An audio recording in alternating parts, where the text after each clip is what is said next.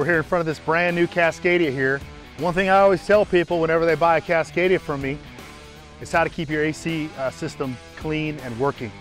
Beauty is you can change the air filters, the, uh, the cabin filters by yourself. No tools necessary. There's three of them on the truck total. There's one under the engine right here. You pop this little cover down, pull the filter out, bam, it's that easy. Put the new filter in, close this up. I mean, it took what, 30 seconds to do that? Two other ones are in here. One's in the, one's in the E-Vault here, your cabin filter. Super easy, once again, no tools necessary. Bam, it's right there. You put your new one in by hand, pop your E-Vault cover on, and you're done. The one everybody misses is back here in the sleeper.